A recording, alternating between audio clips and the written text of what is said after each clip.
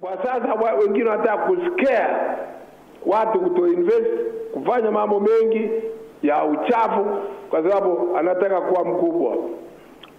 Siku itakufika mtu akitaka kuwa president atakuja kuwa president. Unafikiri mimi takaa siku, siku zote kuwa president? Hai, wanafikiri ni rahisi. Nikishakwenda kule nitakuwa kula raha, kwa sababu I've got power, I've got escort, I've got ndio, hakuna no rest.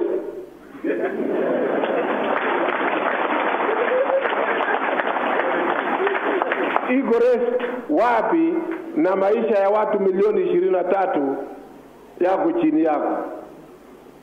Uta, uta, utalala, utalala namna gani kama unajua watoto wengi wanataka kazi, how to create jobs, how to, in, to get others to invest na kadhalika.